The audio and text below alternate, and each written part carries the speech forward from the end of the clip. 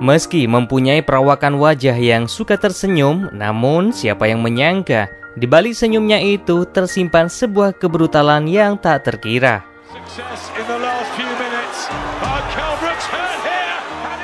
Terbukti sejauh ini Errol Spence belum tersentuh kekalahan dan tak ada yang menyangka petinju kelahiran 3 Maret 1990 ini menjadi penguasa di kelas welter.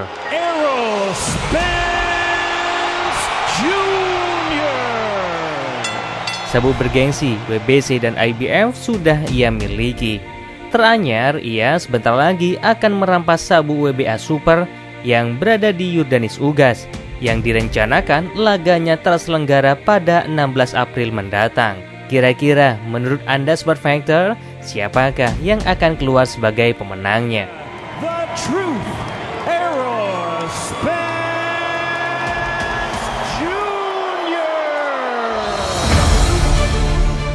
Dan inilah salah satu laga yang sulit dilupakan dalam karir Errol Spin. Kala itu ia menjadi underdog saat melawan Brook pada tahun 2017.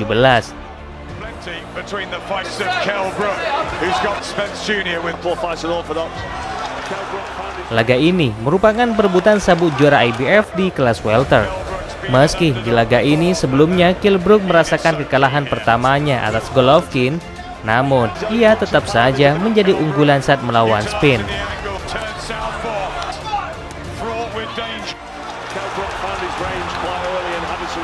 Terbukti sejak ronde-ronde awal, Brook lebih mendominasi pertandingan.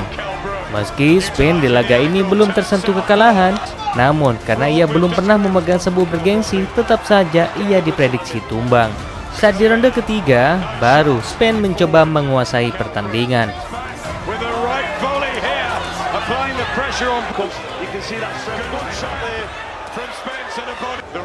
Namun setelah itu di ronde keempat tetap saja Brook yang lebih unggul. Bahkan di ronde kelima dan keenam Brook sukses membuat Spain kewalahan.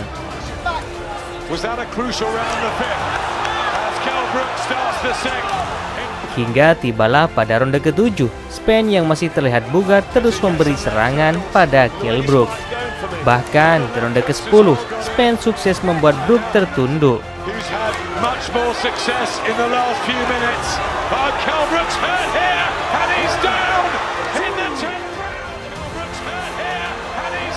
Terlihat bagaimana mata Brook yang tambah membengkak. Dan di ronde inilah kill Brook dibuat tak berdaya.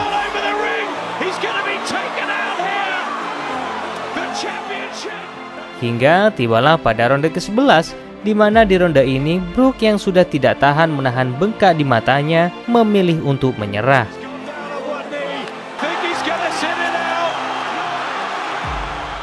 Dan inilah sabuk pertama bagi Errol Spin dalam karir tinju profesionalnya.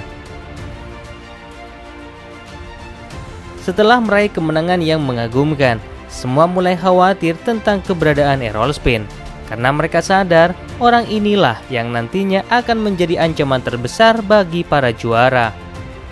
Sam Porter, sang pemilik sabuk juara WBC adalah korban keganasan The Truth atau sang kebenaran ini. Jauh sebelum dipertemukan dengan Sam Porter, Errol Spin mendapati rintangan yang cukup sulit. Lemon Peterson adalah petinju pertama yang mencoba merampas sabuk IBF-nya. Truth, Errol Spin! Jr. Lamar Peterson. 20 Januari 2018, laga ini terselenggara.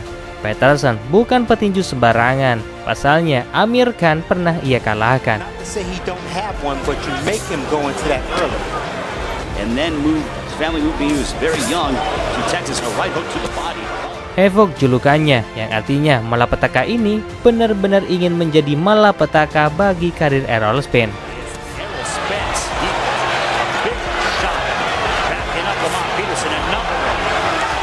Memiliki pertahanan yang cukup rapat hingga membuat Spence agak kesulitan untuk mencari celah.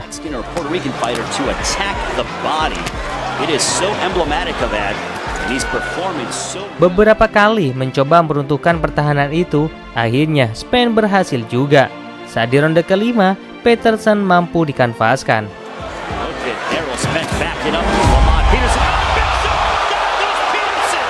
Dan di ronde kelima inilah Peterson mulai bermain terbuka, sehingga terjadilah jual beli serangan.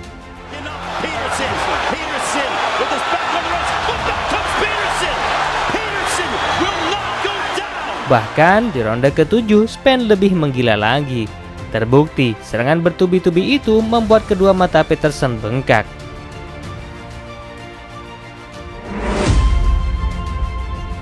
Barry Hunter, pelatih Peterson yang mengetahui mata anak didiknya kian parah, akhirnya memilih untuk menyerah. Setelah Lemon Peterson, kini giliran Carlos Ocampo yang menjadi tumbal berikutnya. Dan lebih mengenasnya lagi, Carlos malah hanya mampu bermain satu ronde saja.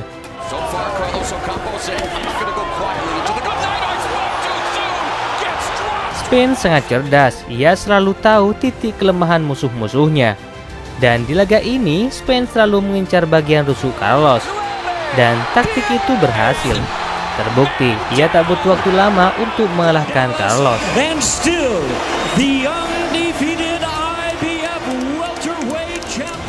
Sepertinya lawan-lawan sebelumnya kurang begitu tertantang bagi Spain dan kini ia mencoba melawan petinju top yang sedang berkuasa di kelas lightweight, yakni Mickey Garcia. Sabu bergengsi WBC dan IBF milik Mickey Garcia di kelas lightweight akhirnya ia lepaskan demi memuluskan untuk menantang Errol Spence sang juara di kelas welter.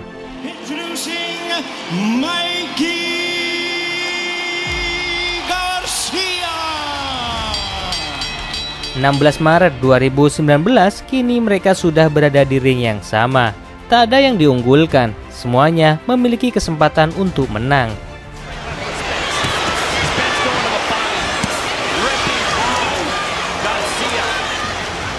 Garcia di laga ini memiliki rekor 39 pertandingan dan belum tersentuh kekalahan. Sedangkan Spain hanya 24 laga dan juga sama-sama belum mengalami kekalahan.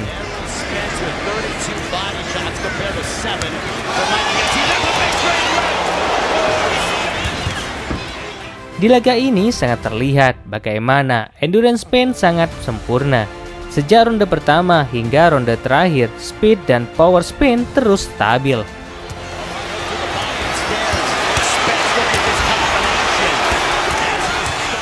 Terbukti dalam duel yang berlangsung 12 ronde ini, semua ronde dimiliki Errol Spain. Tak heran ia meraih kemenangan mutlak. And still, the IBF welterweight Melihat tidak ada yang mampu melawan Spain, kini giliran sang juara, sang pemilik sabu WBC Sun Porter yang siap menjadi perusak noda kekalahan Spain. Laga unifikasi gelar ini berlangsung pada tahun 2019. Sang juara bertemu sang juara. California US menjadi arena pertempuran keduanya.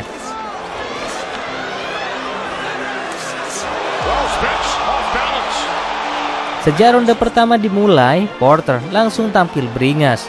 Terlihat bagaimana ia menyerang Spain secara membabi buta.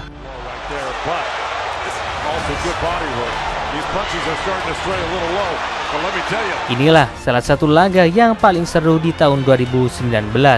Semua penonton yang menyaksikannya sangat terhibur dengan aksi kelincihan keduanya. Porter dengan counter boxernya mampu meladeni dengan kecerdasan dan kelincahan Errol Spin.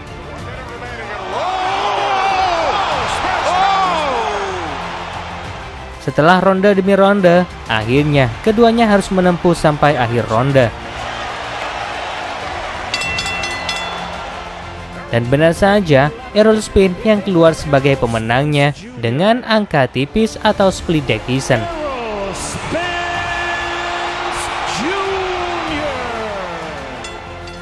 Memang saat ini sulit untuk mengalahkan Errol Spin. Bahkan Danny Garcia setelah itu tak mampu mengalahkannya. Dan bagaimana menurut Anda Smart Fighter? Kira-kira Yordanis Ugas nanti apakah mampu mengalahkan Errol Spin? Mari kita tunggu saja pada 16 April mendatang. Dan terima kasih buat Anda yang sudah menonton hingga akhir video. And see you next time. Salam Fighter.